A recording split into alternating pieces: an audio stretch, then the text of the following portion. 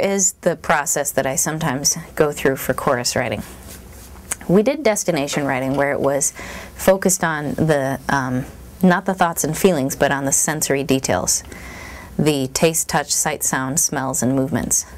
And we wrote for like five minutes, 10 minutes, whatever. Um, so now we're going to try to do the same thing. And instead of writing focused on all those sense words, I'm going to have you write focused on your thoughts and feelings in response to those sense words. We did Central Park for destination writing.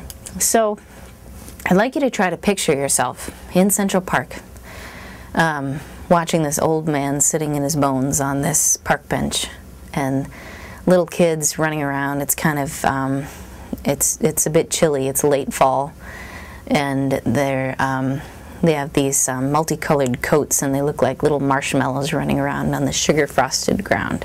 Kind of a cool idea. Um, there's the scents of pine.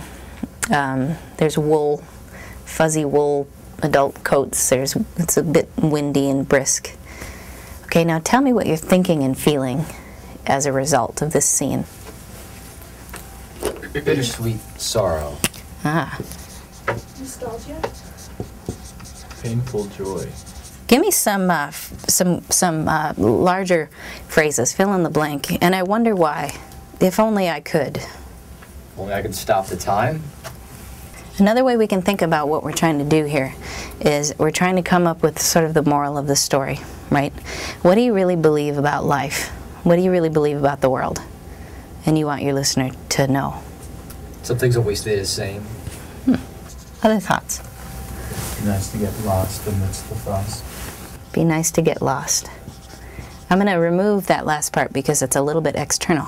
Great, we have a ton of ideas here. Um, so just kind of adding this in with the other internals that we have, we have a lot of a lot of big thoughts. Okay, so um, choruses don't typically utilize the toggling patterns that we would use for a verse. Can you imagine why? They're more universal. Yeah, there's a lot of internal language in a chorus. Um, a lot of big thought, like um, Kelly Clarkson's Breakaway, for example. I'll, I'd spread my wings and I'd learn how to fly. I'd do anything till I touched the sky. So that's what we're trying to do is to get this, this really big zoomed out idea of this is how I see the world. What do you see for titles? Bittersweet sorrow. And it's a bittersweet sorrow. Thinking that too. Okay. so let's just start with that. There's a lot of titles in there. Um, but let's start there, see if we can form this.